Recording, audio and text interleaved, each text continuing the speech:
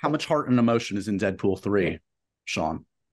I, I'm I'm gonna say this. You laugh a fuckload more than you think. Okay. Prepare your ears, humans. Happy, sad, confused begins now.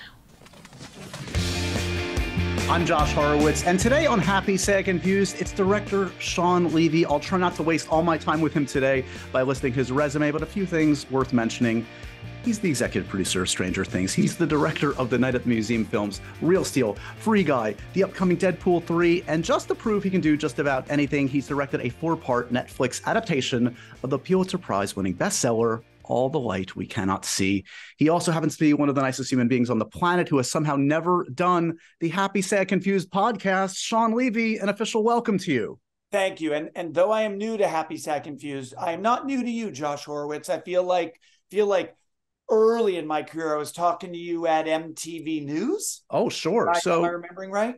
I do want to like uh, uh, talk about that a little bit because I, I have vivid memories. I started at MTV about 17 years ago. And um, very early on, I did one of these things where like I, I, don't expect you necessarily to remember, but I think someone set up like a meet and greet. We had a lunch. And at that time, especially in my career, I was nervous. I was like, I shouldn't be here. And you were so disarming, so cool. One of us, someone that could talk the talk just like I could, but very relatable. And I've always appreciated that about you. And I guess this is my way of saying thank you 17 years later for making me feel comfortable oh, at that lunch way back when. Re- retroactive thank you accepted. It's easy to, uh, to, to be nice to you because you're nice. And the, the truth is, I mean, all these years later, I still love the job. I still love I love our whole industry of storytelling. Um, and so I find it interesting to talk to people who are equally passionate about it. Um, and obviously, you are, you always were, you still are. And um, how lucky are we to get to work in a field that we actually get pumped about? It's it's truly one of the blessings of this of sticking around. I always say this is to kind of like ride alongside folks like you actors who who go in unpredictable ways. And certainly you're a filmmaker and we'll get to this who has never been boxed in always pushing at boundaries and trying new stuff out. And we'll get to the new netflix uh, series which is a testament to that um, but first since we do have a little bit of the luxury of time uh, let's get our bearings a little bit nice, nice, nice Canadian boy, Shawn Levy, obsessed with movies right from the start, a pop culture junkie. What were you like as a kid? Definitely pop culture junkie, obsessed with music, theater, movies, but not like you hear stories of like JJ or Guillermo or frankly Duffers who were like studying the oeuvre of John Carpenter when they were four. Um, but like like every red-blooded human growing up um, in the 70s and 80s certainly like early spielberg early zemeckis um, definitive lucas those were big touchstones um, but I was heavy into theater. I was heavy into like new wave music because um, we Montrealers like to consider us a little bit edgy, little bit, little bit avant-garde, little bit uh, Euro androgynous. Um, I might confess to a Duran Duran uh, poster alongside The Cure and The Clash on my bedroom wall. You contain um, multitudes. Yeah, it's all good. Can I use that? I'm definitely gonna from now on introduce myself. Hi, Shawn Levy. I contain multitudes. don't um, box me in. Yeah. Don't box me in. But no, but it's yeah. interesting because I, I, I, something I talk about with I have four daughters, and um, one thing I talk to them a lot about is like take your influences from everywhere. because they are, you never know when one will present itself. And the things I've learned from different people, different creative artists over the years, um, not to emulate and try to be a replication of one of them, but rather to borrow traits from many of them. I think that's a, a really useful way to approach um, life. Did your passion for acting predate the passion for potentially directing and eventually producing? It, it did um, until the moment where my passion for acting was doused with um, an ice bucket uh, long before the ice bucket challenge. It was circa, it's late 80s. Um, I'd been doing, I'd been like a theater kid, went to Stage Door Manor, the kind of famous slash infamous theater camp. Um, and I went to Yale as an undergrad, and I was a classmate of Paul Giamatti's. And I remember doing plays with Paul and being as a freshman in One Flew Over the Cuckoo's Nest with Paul. And I played Billy Bibbit, and he was McMurphy. And I remember being mid performance in front of an audience, watching Paul just act my ass off, like circles around me. And I remember this kind of very conscious thought at 19 years old oh, that's what great looks like. That's what great looks like. Maybe I'm good. Maybe right. I could be pretty good. But boy, I'd sure love to find something I might get great at. And that was the beginning, thanks to that kind of coexistence with Paul, where I started directing in college too. And that was really so, really late teens, early 20s. That was ultimately culminated senior year. I directed that same friend, Paul Giamatti, in Who's Afraid of Virginia Woolf. And that was the moment where I thought, oh, okay, maybe this is something that I could really pursue excellence in without being burdened by self consciousness, which right. was always that piece that kept me back from being a great actor yeah, you got to get out of your own head. That's the and key for any actor. Kind of never can. That's kind of unfair to be like. I mean, it's the gift to be to know Paul, but like one of the great actors of the last thirty years happens to be your buddy at Yale School of Drama, and you're That's like, it. and you know, the lucky thing, Josh, is then a few years later, I and I ended up going to film school, did some TV for Nickelodeon, Disney Channel. My first movie, Big Fat Liar, right. hired Paul Giamatti as Marty Wolf um, who which is a name that means very little to some people. But if you grew up in a certain bandwidth a year, you know Marty Wolf and Big Fat Liar. And oh, sure.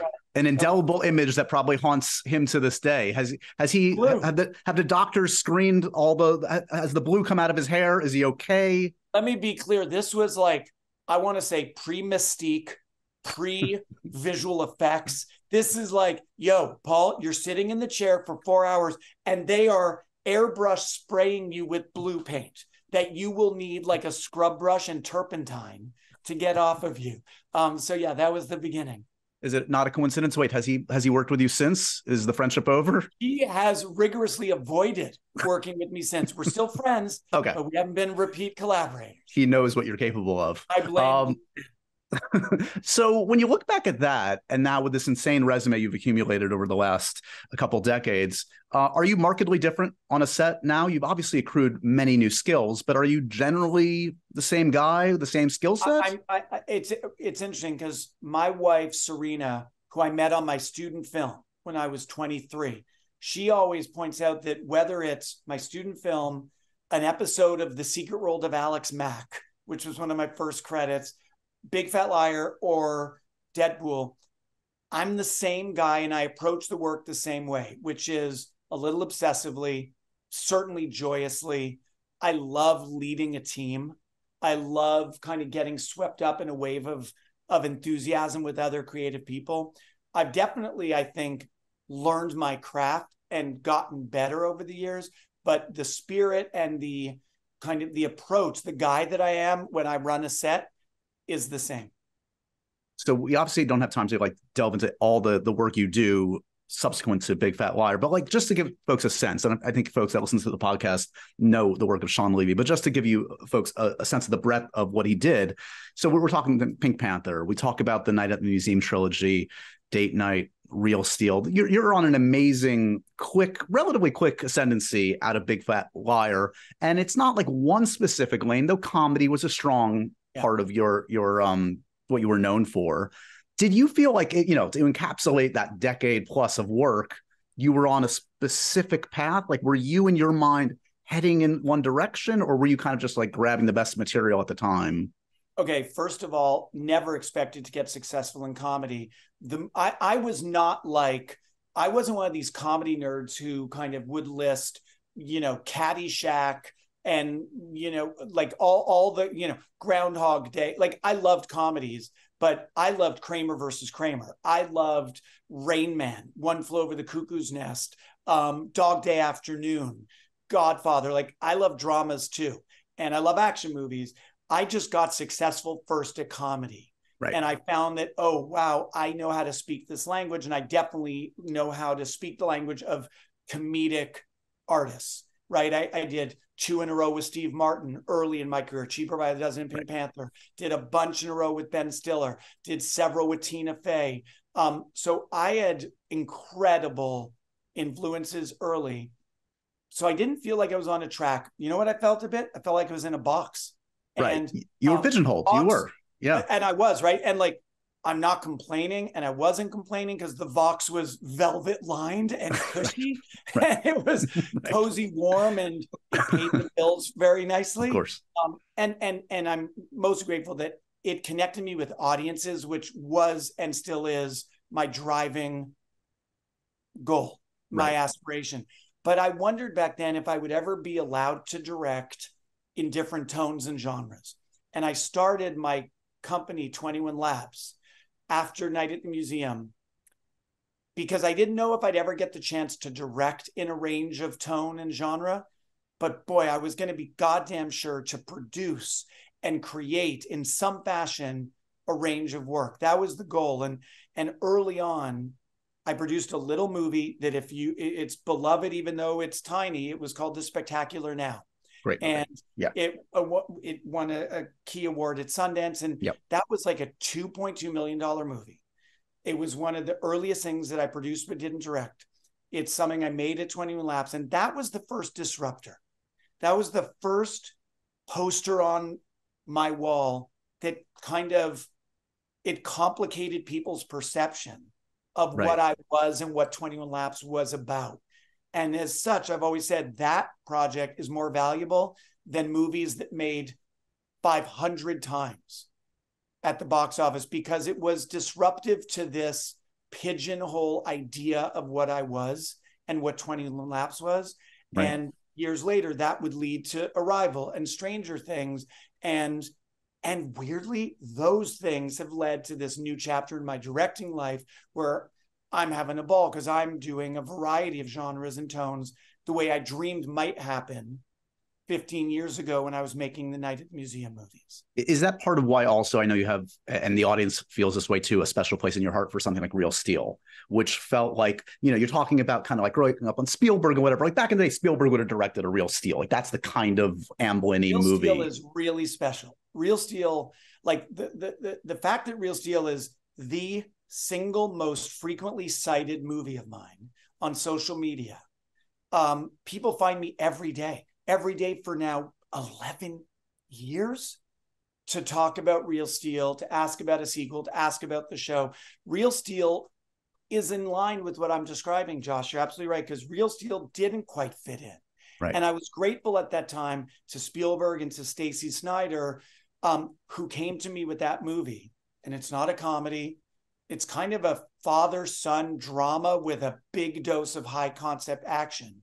And it was the first non comedy I directed, which is to say, also was the first time that I could stage scenes and use lighting and composition and a visual style that is not in service of the laugh. Right. You know, something that people talk about a lot, but it's real. When you have a 15 20 million dollar comedic star at the center your main job every day is set it up for that genius to be funny. And that means all decisions camera movement lighting pacing blocking it's all in service of the laugh and it's like a very it's a clarity of purpose. And it's actually something i was going to get to like as you start to do more and more drama and this is where i leave you which obviously has comedy involved too but all the light we cannot see which is certainly not a comedy. It like that's something where you as a director as the as the person you know helming the ship have to be kind of like your own i don't know you have to have judgment and know like like how do you know you're succeeding? There's an a and b thing in comedy. It's either working or it's not working. Yes.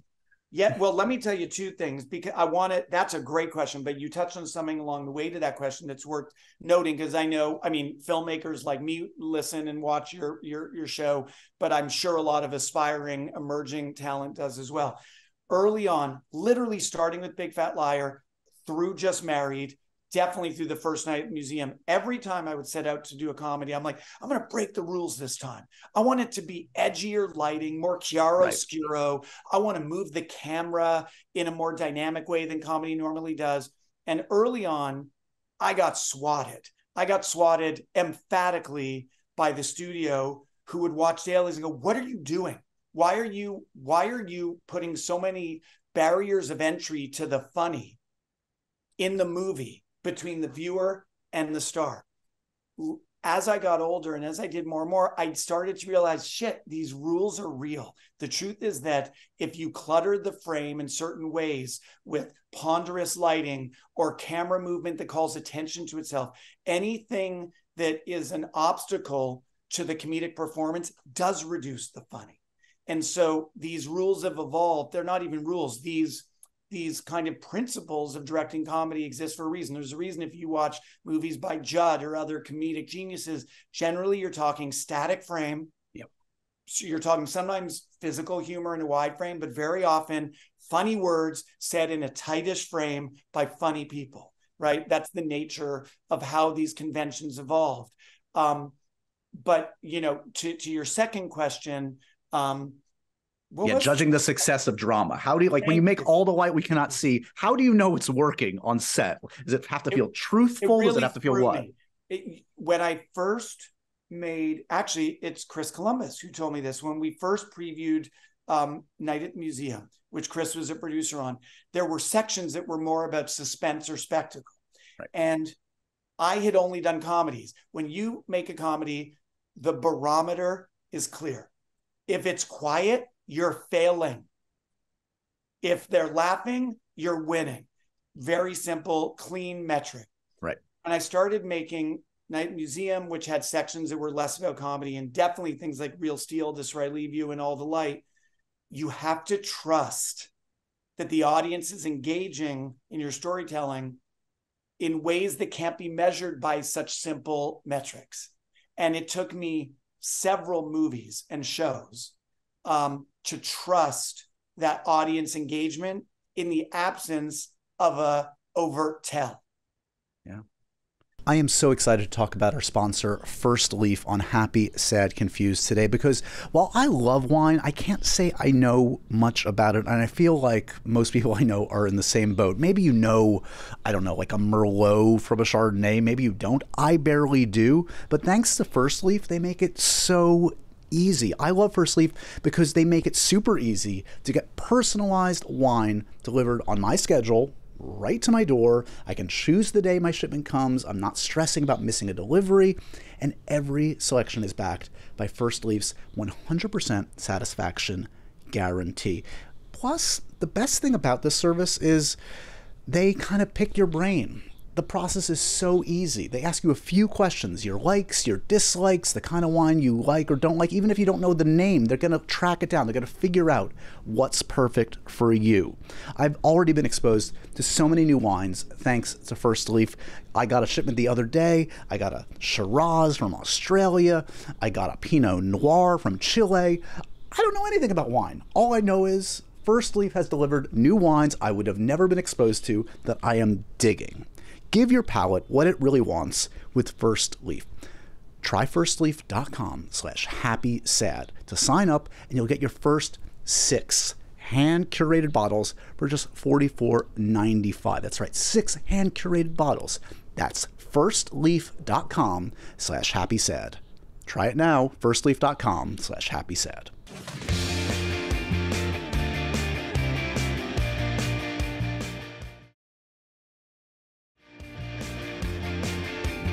Okay, so let's so let's talk a little bit about this current project. So this is an ambitious piece of work, man. This is four parts on Netflix. For those that don't know, the source material won the Pulitzer Prize. This is set in World War II. Um, while you do have some name actors in there, the great Hugh Laurie, Mark Ruffalo, you're really, really leaning on some very green performers, and that is a that's a that's a tall order. But if we know anything about Shawn Levy, you know how to coax maybe is the wrong word, but get great performances and work with great actors of all of all stripes. Um, well, let's start there. Let's start like in terms of the approach to working with different actors. Uh, you have a young, you have two young ladies actually playing one the central role in this. Um, talk to me about working with them versus working with you know Oscar nominated performers. Well, I have over the years, as you've noted, I really do like combining veterans and discoveries. Um, so you know whether it's Winona mixed with five, 11, and 12 year olds who had done right. very little, whether it's Dakota Goyo in Real Steel or Walker Scobell in the Adam Project. Um, I do love breaking someone. I love discovering treasure that no one's dug up yet. And so with this one, that was the goal to find a young girl and a young woman to play Marie, the protagonist. But there was an added dimension, which is while I auditioned hundreds and hundreds of girls and young women, I was also opening it up to contenders who were blind or low vision because the character Marie is blind in this story. And so I got hundreds of auditions uh, from around the world. And out of those hundreds, I noticed this one. It's a young woman named Aria Mia Liberti, who was a Fulbright scholar, who was studying to get her PhD in rhetoric, and not only has never acted before, Josh, has never auditioned before, but there was something raw and smart and fierce and luminous about her in her very first audition that made me kind of it's what you always hope happens in an audition where you're sitting in the room you're sitting watching links and you're just like holy shit. Holy shit. I think this is something. And you can feel it right? Yeah. Um and i and, and indeed she got the part. And imagine doing a job you've never done before learning how to do it in front of hundreds of people while you learn. That would be terrifying to you and me. Like go teach a go teach a class on you know physics. Right. wait what? That is how foreign acting was for our in front of great physicists in front of you. Yes well exactly. That's well put. But you look i but i do love coaxing educating helping a performance become great. Yeah. And um and that is the job whether you're directing steve martin or aria liberti. The job of the director among other things is create an environment where that actor can be great. And in my experience whether it's comedy or drama it cannot happen if they are not comfortable and trust that they're safe. And earning that trust is done differently actor to actor. Sometimes it's with levity sometimes it's with seriousness and kind of clarity. Um, sometimes it's just a, a vibe you create on the set. And and part of why my job is interesting to me every day is the language that you have to find with each actor is different job to job. And it's different actor to actor even within the same movie or show we've obviously found and this this certainly is the case with something like stranger things where like the line between tv and film is blurred. I mean what the duffers are doing on the small screen could just as easily maybe should be on the big screen as well. I've Um, said to many people they're like what's your favorite movie? I'm like dear billy.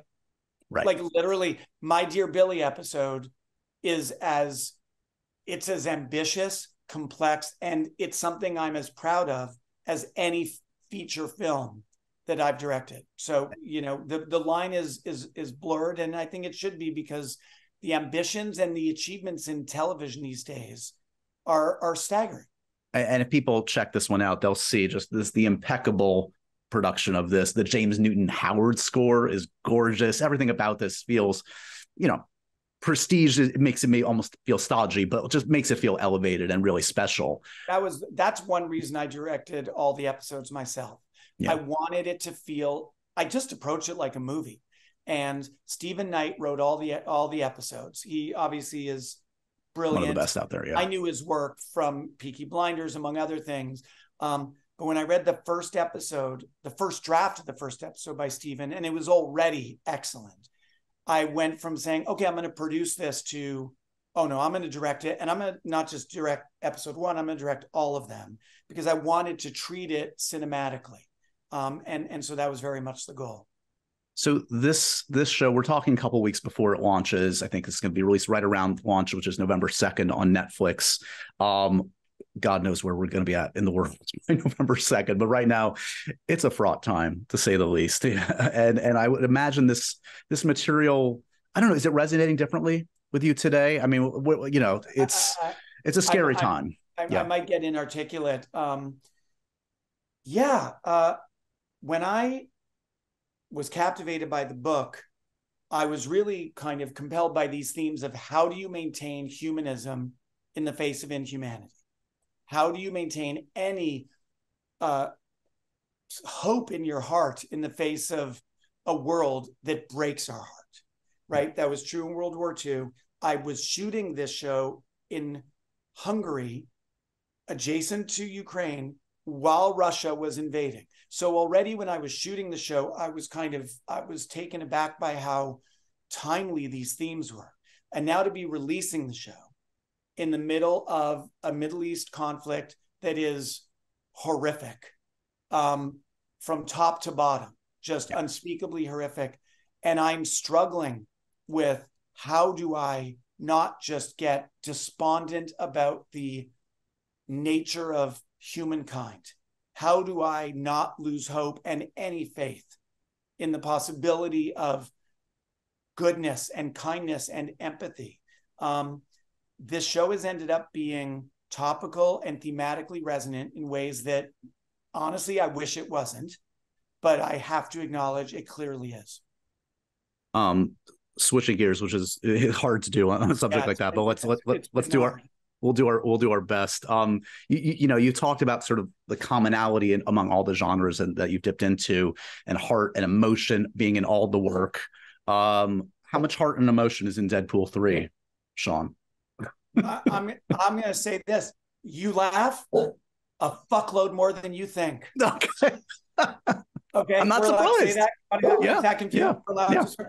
yeah. Um, I, I'm, I'm so wary, and thank God I've been on Stranger Things for almost a decade because it's trained my mouth to be a little less um, blathering. But um, one thing that Ryan and I were really united in is wanting to make Deadpool three uh, very much consistent and um, contiguous with the franchise DNA, but to see where we could evolve in this third movie.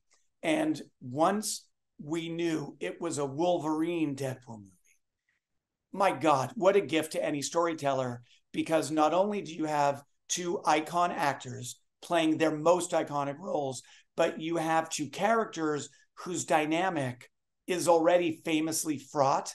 And anytime you're dealing with characters who start from a place of deep dislike and conflict um, and difference from each other, right? The mouth and the like surly, laconic, man a few words. What a great formula for storytelling. And uh, ultimately, the movie does have much more character depth and heart than I think anyone is expecting. If if 10% of the rumors around this film and my dog is very excited about this. If 10% of the rumors around this film are true, you've got gold on yeah. your hands. Tell me this. I'm not going to like ask you specifics. Is there one cameo you landed that blew your mind? That was like, wait, we we actually got yeah. him or her? Yeah. And what blew my mind also is how easy some of those cameos have been. People love Deadpool. People love Ryan. Thankfully, people also seem to like my work. They know that Ryan and I are in a groove of creative brotherhood that is uh, unique and seems to be working. Um, so yeah, there there's I, I love the proliferation of casting rumors uh, around my movie because there's so many that it's impossible to know what's real and what's uh, made up. Um, and so uh, all I'll say is, yeah, this this movie, starting with Ryan and Hugh, but definitely in other areas, um, some of whom the world knows about, Matthew Macfadyen, Emma yeah. Corrin, um, really just going to work is a delight. I'm not going to exploit what is a personal friendship uh, with the lovely Taylor Swift, but has the word dazzler ever escaped anyone's lips when you've been in a room with Taylor? Um, it sure escapes the lips of social media every day. And that's all I'm going to say. Would she be a good dazzler? Just whether it's you or someone else directing? Sounds like a great idea. I'd pay big money for that. A lot of people would. I'm just saying. I, am literally, I feel like, oh wow, I went to a football game a couple weeks ago, and uh, and I had a really good time with friends, and I am thrilled to be talking about other things. fair enough, fair enough, fair enough. Um, a couple more things. Again, I know you have a bit of a road left after the strike ends to finish up Deadpool three, but does this feel like it's? I mean, it's obviously part of the MCU. That's the excitement of it is like it is introducing these Fox characters into the MCU, but does it feel like it's going to have ramifications on the MCU, or are you just kind of like a side story or somewhere in between? I'm so wary of giving anything away because I've I've learned the hard way that with a few titles, like any Marvel title, everything and anything you say can lead to um, not only rumors but misinformation.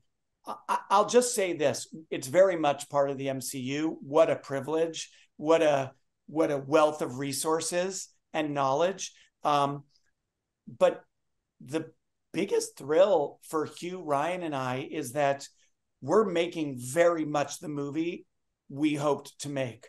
One hears rumors all the time, good, bad, everywhere in between, about what certain studios are like to work at. I'll just say that this Deadpool movie, uh, co starring Wolverine, is very much um, aligned with the DNA of the Deadpool franchise. And there's been nothing but support in making the movie audacious, gritty, hilarious, and gnarly. Don't let Hugh hear you describe it that way, by the way. This is a Wolverine movie. This is a Wolverine movie co starring Deadpool. Well, if you know Hugh, which I know that you do, you know that um, the other gift of this gig is that it's two mega movie stars who also happen to be the two nicest movie stars. I was going to say, what a bonus! A that it's like, insane. I seem nice, right? Suddenly, I'm the asshole. In well, that little, you were in definitely that little the asshole in that trio. Of, yeah, gosh, in that triangle of friendship, I'm the asshole because Hugh and Ryan are so goddamn nice. I, I will go on record. I mean, I've said it many times, and it's no surprise. Many have said it.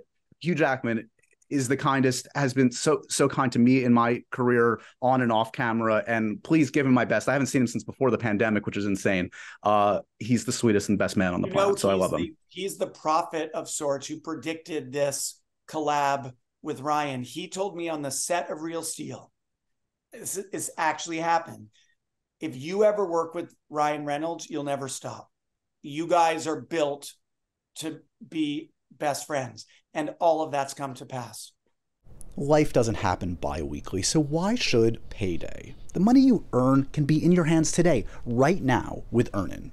Earnin is an app that gives you access to your pay as you work, up to 100 bucks per day, or up to 750 bucks per pay period. All you have to do is download the Earnin app and verify your paycheck. Then you can access up to $100 a day as you work and leave an optional tip. Any money you access, plus tips, are automatically repaid from your next paycheck. Think about it. For that special night out, you have money in the bank. For that unexpected trip to the vet, you have money ready. For that upcoming rent, for the new dress, whatever you need, you have more money in your bank account. So make Earnin a part of your financial routine and join Earnin's over three and a half million customers who say things like, When I think about Earnin, I think about financial stability, security. It gives me a lot of peace of mind. Download Earnin today. That's E A R N I N in the Google Play or Apple App Store right now. When you download the Earnin app, type in confused under podcast when you sign up. It'll really help our show. That's confused under podcast. Subject to your available earnings, location, daily max, and pay period max. See earnin.com slash TOS for details. Earnin is a financial technology company, not a bank. Bank products are issued by Evolve Bank and Trust, member FDIC.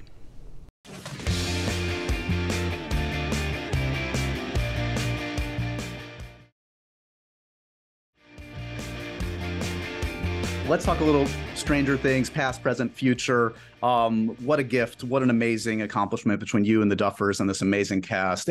I'm curious, when you guys were developing that, when you were casting that, was it more difficult to get the get Netflix to approve David Harbour to be one of your main adult leads, or to convince Winona Ryder to do a series?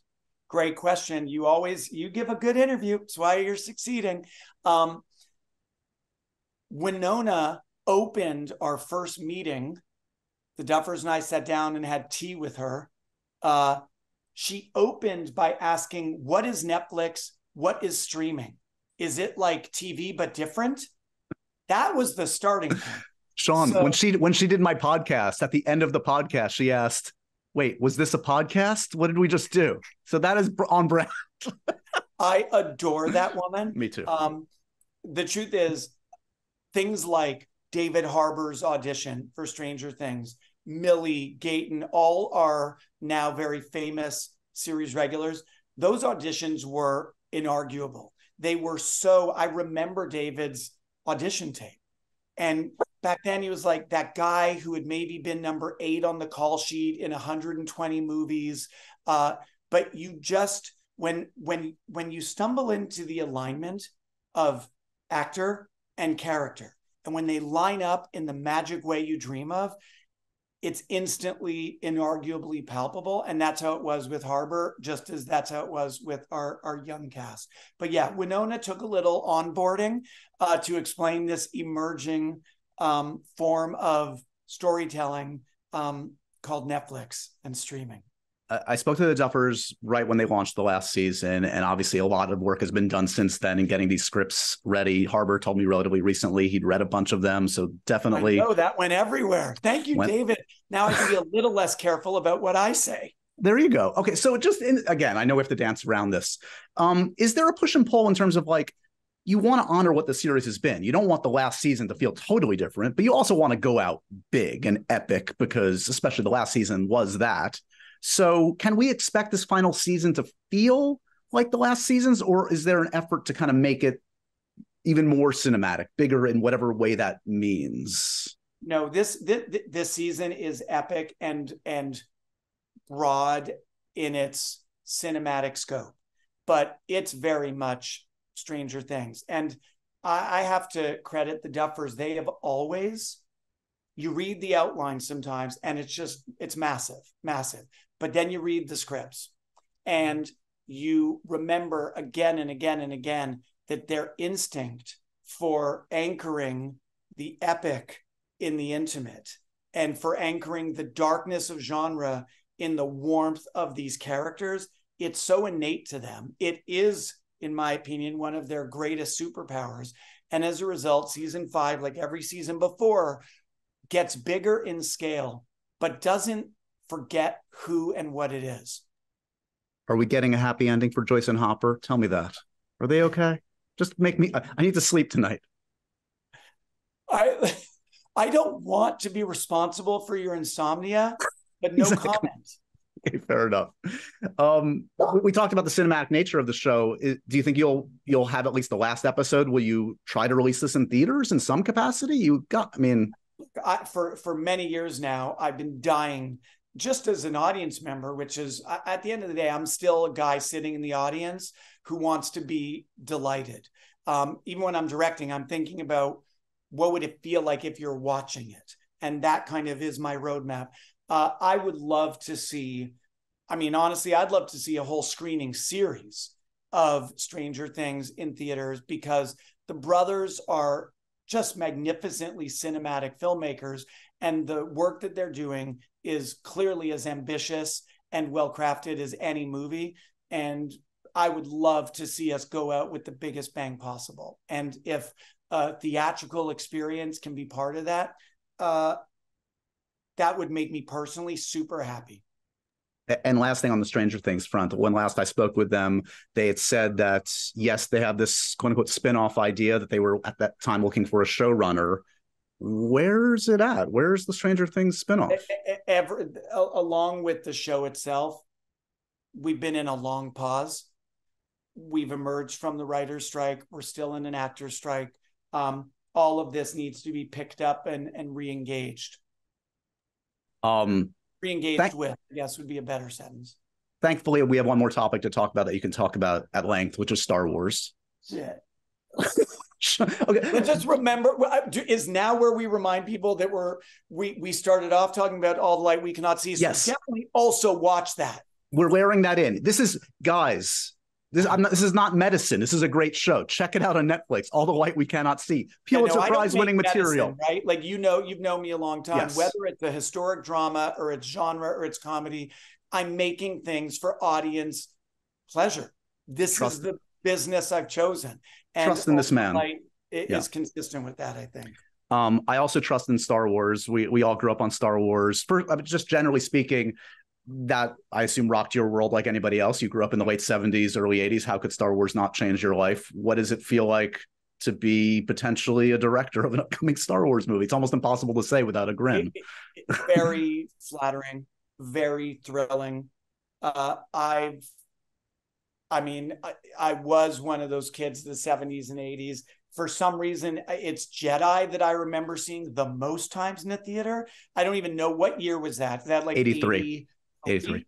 Yeah. Um, so like, wow, at least a dozen times. Yeah, you were like 12 then. That's perfect. Of course yeah, it did. definitely yeah, yeah. shaped me. It definitely shaped me. Um, so wait, but, your movie is all about Ewoks. That's the reveal. That's the exclusive you're saying?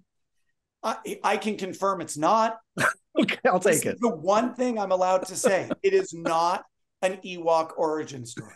How far along is it? Do you have like a treatment to start? Like Josh, not as far along. Um, um, definitely have an idea. Again, long pause, uh, and now very much re-engaging. But it, it's development. I mean, it's early development. Yep. Um, and but I'll also say I really want to make that movie. And obviously Kathy and Filoni and all the all the kind of the brain trust at Lucasfilm, they're they're trying to juggle and coordinate a lot of pieces in film and in television. Um, but the spirit of Kathy's outreach to me, um, which was your movies have a consistent sense of fun and warmth, and that's what we want the Shawn Levy Star Wars movie to be. That's what we want Star Wars to be. Um, I'm running with that mandate. Um, it's the only way I know how to approach the work anyway. And so to play in that sandbox, uh, it's a blast it's a blast and every day just cooking up ideas. Oh my god! Um, I don't actually like rub my non-existent beard, by the way. But that's you got a pipe and a monocle. No, You're basically Mr. Oh, Monopoly. Shit. Yeah. then people would really view me more as an intellectual and an yeah. artiste. Your so smoking jacket. Me, yeah. And I've got yeah. Um, but anyway, well, it's it's ongoing. It's a long runway. What what makes what do you think? What makes great Star Wars? Like you must have thought about this. Like what is like? Does it is it Jedi? Is it the mystery? Is it the fun? Is it the humor? Is it? I really think. I mean, listen, we've seen different tones succeed, right? We've seen Andor and its strength. We've seen Force Awakens and its strengths. We've seen Ryan's, you know, Star Wars movie and its strengths. For me, and again, I can only I can only make things that flow from me in an intuitive way. For me, it is um, and I guess this this go this reconnects to the to episode four, five, and six. Um, it is a combination of swashbuckling fun, swagger, but also a depth of uh, relationship connections. What are you willing to sacrifice for? Either a person or an idea. And in the best Star Wars movies, it's both. I, all I can say is you have a, a, quite a stable of actors you've worked with. I can't wait to see Hugh Jackman, Ryan Reynolds, Jodie Comer. I'll take any of them as Jedi. Come on, put a lightsaber in any of their hands. I'd love to see that too. um, we talked about all the great movies you've made. There are also many projects. I remember talking to you many times about things that came close to happening way back when. There was The Flash. There was Hardy Men, which I still can't believe never happened. That sounds like on paper such a great idea. Was there? Is there one that that still sticks in your craw like oh we had the script we had the idea this would have been a passion project. Hmm that's a really there um, i'm happy to say i'm not burdened with a lot of regret um, i will say uh, and the movie that they made turned out different than the one that i would have made and the one that i developed but i did spend a lot of time on uncharted. Um, right. and uh, and definitely you know um, was involved and personally developed the the earliest drafts of that Nathan origin story. Um, and you know had talks in those times and in those months with tom holland and um, took a deep dive into the lore and into the character. I don't it, it all worked out for a reason. I left uncharted to make free guy and that proved to be a defining creative experience both as yep. a movie but also just as in my life now. I, met my like i who, how many of us make a new best friend in adulthood? It doesn't really happen. No it doesn't. Um, well it happened for ryan and me. And so um, we have free guy to thank. But yeah just uncharted was one. I can't say i regret the decision but um, sometimes you really pour a lot of yourself into a project and then yep you have to watch it go off into the world as its own thing. And that was my experience with Uncharted. So no bad feelings, no regret, but one that I definitely poured a lot of time and creative um, sweat into. Is there an actor that you haven't directed, whether it's Tom Holland or somebody else? You've worked with so many actors. Clearly, love working with you. Who who's still on the short list right now of someone Gosling, you're dying to work with? Cruise, Margot Yeah. Robbie.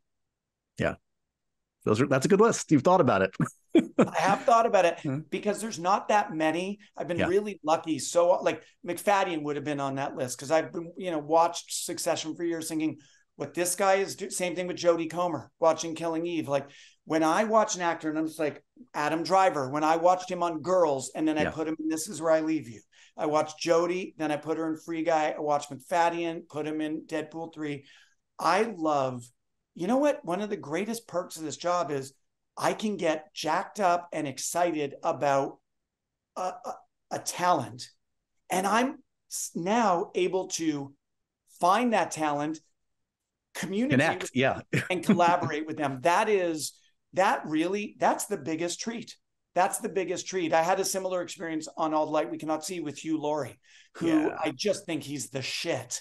Yeah. And he's never played a part like Etienne in All the Light We Cannot See. And he was so down to play a character that was much more fragile and damaged and Right. less strong um, than ones he often plays. So that that for me is maybe the greatest perk of the job is is to collaborate with people whose talent I respect. And last thing for you, I saw you from afar. I didn't say hey, but I, I was at the Maestro premiere here in New York. I saw you were at that one.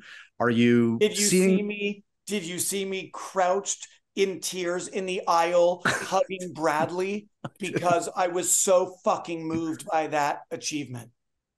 I mean, there are some scenes in that that people will be talking about. I literally I am raising my hand to moderate at least one panel just to talk about the confidence of the single shot scene, not the show off steady cam kind, Right. but the static frame. And Bradley and Matty Libatique's use and confidence in the static frame in that movie Maestro is um, frankly Maestro level achievement, in my opinion.